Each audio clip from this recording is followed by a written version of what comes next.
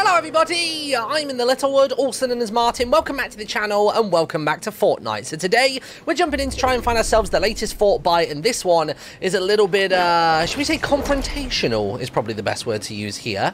We need to go to the Pizza Pit restaurant, and we need to go ahead and do the Durrr Burger emotes or spray inside of it. So it's a little bit standoffish, but if you come over here to the Mega Mall, uh, what you want to do is you want to go downstairs to the front desk where the cashier is. You want to make a sharp left turn and right about here is where you can find the Fortbyte. Uh, if you open up your locker wheel and go up by one page, typically you're going to find it here. So if I spray it on the old wall, there you go, number 59 all collected.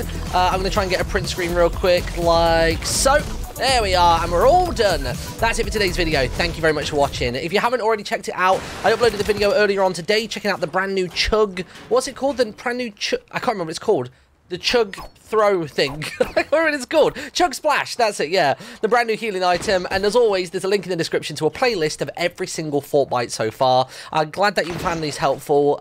Subscribe, ring the bell, and also, on that topic, thank you for one and a half million subscribers. Like, literally, we passed 1.5 million subs yesterday when I was on the train. Uh, thank you. Thank you, thank you, thank you, thank you. I've got a special channel update vlog coming out today as well, uh, so keep an eye out for that. And I've rambled too much. I'll see you later. Bye.